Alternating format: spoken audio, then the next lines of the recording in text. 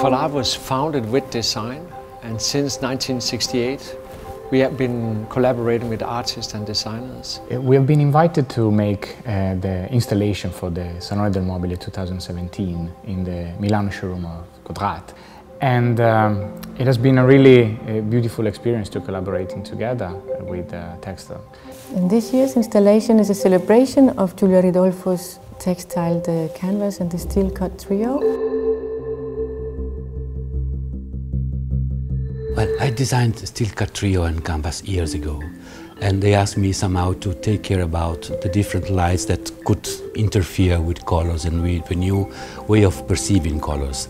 So for me, it was like to, to, to have a deep dive into the, the color of, of a landscape.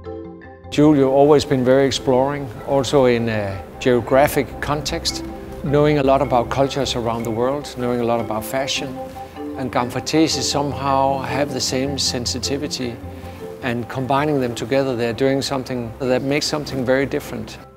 I appreciated a lot the idea from Gamfratesi, from Enrico Enstiner to start from a mask, as not in the, in the sense of a Venetian mask, a mask that was very original from the past, where the textile could fit as an element of ornament, as an element of uh, being part of an expression of a color. Textile is an expression.